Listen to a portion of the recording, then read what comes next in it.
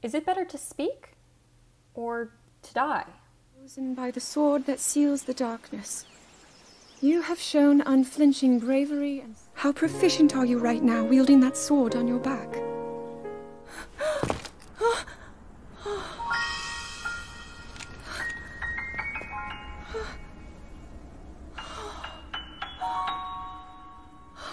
Yes, I understand.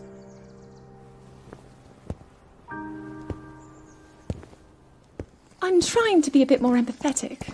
Benefit of the doubt, you know? No, no! Link, get up! You're just fine.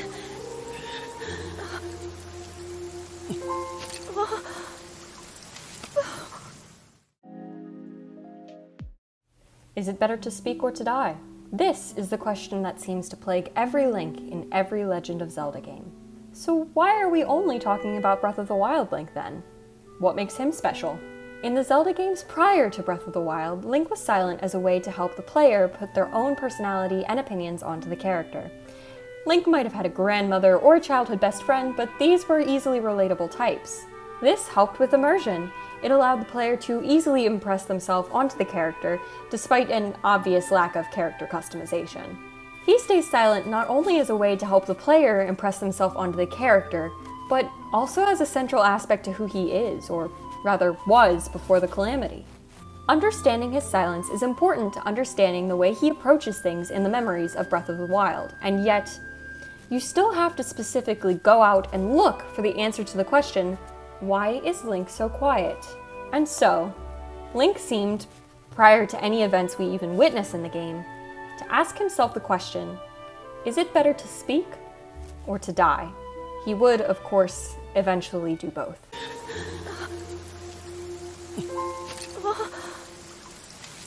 The Heptameron is a collection of 72 short stories written in French by Marguerite de Navarre. Today, we will be discussing a portion of Story 10. In this story, the passionate advances of Amador, the male lead, to the female lead, Florida, are described. Unfortunately, as with most stories in the Heptameron, it's filled with unsavory details, such as the fact that these advances took place somewhat non consensually while Florida was already married. Oops.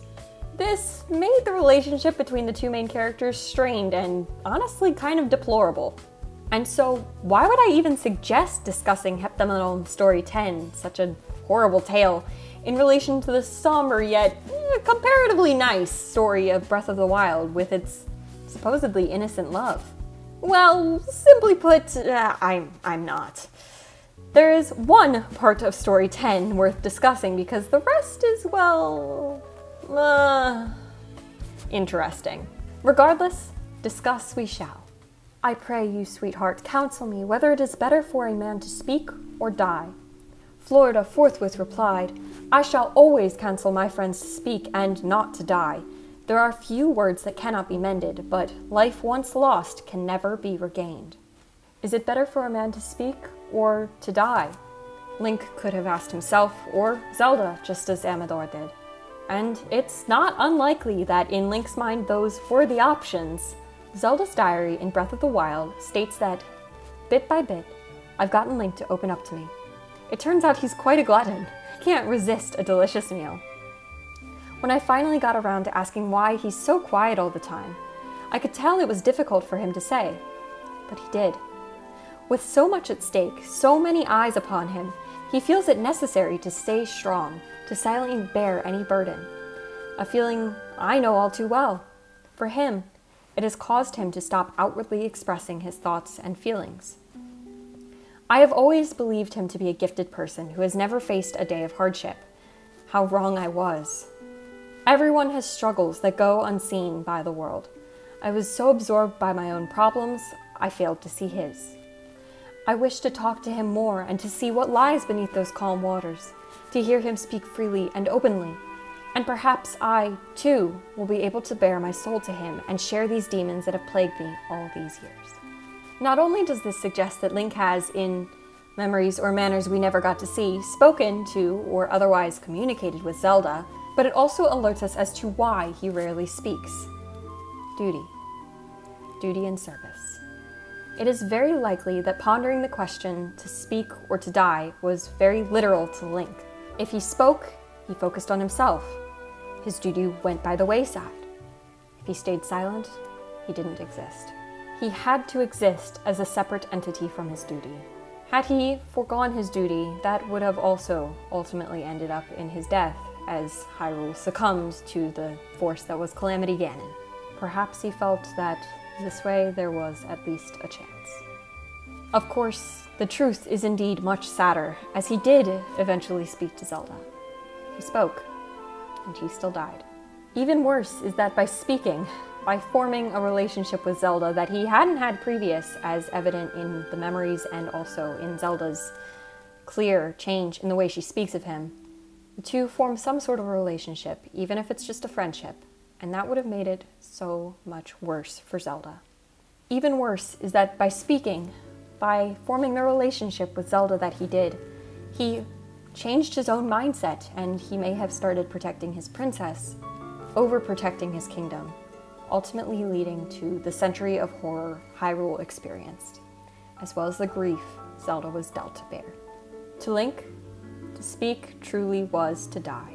This understanding, the consequences of Link's actions, is made all the more worse when that line in the heptameron is followed up with, I have hitherto been unwilling to tell you of the great affection that I feel for you.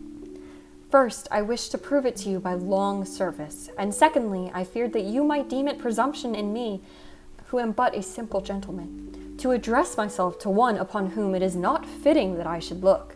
And even though I were of royal station like your own, your heart, in its loyalty, would suffer none save the son of the Infante of Fortune, who has won it to speak to you of love. Of course, Link would have been engaged in long service to Princess Zelda, though likely never would have been seen as anything more than the help to the king. This mindset, of course, trickled down to the princess as well, until eventually she became wanting to be more open with him. In Story 10, Amador was of royal birth, and in a way, so is Link in that the Triforce is a complex of gods, and really there's nothing about, above gods, but I digress. Even still, the words that Amador says to Florida imply that she is so much more untouchable than him. And that would have been true for Link as well. And that's what she was, wasn't she? Untouchable? Universally beloved? The power over light within her, raising her above even her father as the king, giving her the strength of the royal family that not many could bear. In our text, Amador continues. But, just as in a great war necessity compels men to devastate their own possessions, and to destroy their corn in the blade, that the enemy must derive no profit therefrom, so do I risk anticipating the fruit which I had hoped to gather in season, lest your enemies and mine prove by it to your detriment. And though used as a metaphor here, in many ways, in our case, it is not. They are already in a great war, preparing to fight the beast of 10,000 years legend. The last part can be confusing, but by saying, I risk anticipating the fruit which I had hoped to gather in season, lest your enemies and mine profit by it to your detriment. I believe this is a direct reference to the danger of loving. Again, it's used wholly as a metaphor, but what if it's not? If Link and Zelda were to have gotten together before Link fell, would that have not made the whole situation worse? Would Calamity Ganon not have benefited from the detriment of Zelda, who would have been beside herself by the death of Link so much more than she already was? There is both the notion that if they did not get together right then, that there might never be another chance, but also the understanding that they did get together, it might make things all the more worse. Amador and Florida go back and forth for a long while until Amador eventually says, If, for your honor's sake, or for aught concerning you, you ever have a need of a gentleman's life, I will gladly place mine at your disposal. You may be sure also that whatever I may do is honorable and virtuous and will solely be for love of you. He lays his life at her feet his ultimate act of love, when he knows that Florida is both already married and not entirely interested, is to lay his life at her feet out of love, to give his life away to her. Is that not what Link does every day? Is that love, that devotion, not what ultimately answered the question of whether it is better to speak or to die? Amador and Florida's relationship can be described as strained at best. It's rocky with marriage and politics and infidelity and this and that and many bad things. It's it's not a good story actually. Link and Zelda were quite a bit more fortunate. The world was against him, but they, at least, were not against one another. Their hearts were seemingly open to one another. If, of course, you ignore Mipha, which there's like evidence to suggest Link might have not really been emotionally invested in her anyways. Ooh. Instead, all that's left is the fear of what might happen if they were to give in to their desires. So, does this answer the question of whether Zelink is canon in Breath of the Wild? No, of course not. This is merely one example of the way their lives might have looked prior to the calamity, of the questions they would have had to ask themselves. And so, is it better to speak or to die? Well, in the wise words of Florida, I shall always counsel my friends to speak and not die. There are few words that cannot be mended, but life once lost can never be regained. Link was silent as ever in every memory we saw him in, and yet he still died. Not forever, of course, but he still did.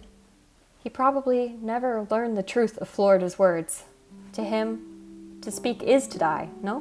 What do you think? Are there other random texts written by dead people who seem to perfectly describe Zelink for absolutely no reason? Anyways, subscribe. Or don't, I guess. I don't know your life. Seriously though, this guy died almost 500 years ago. How did he get this so right?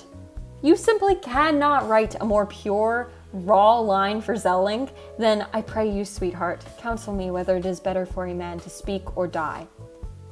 My fanfiction for Zelink will simply never hit that peak.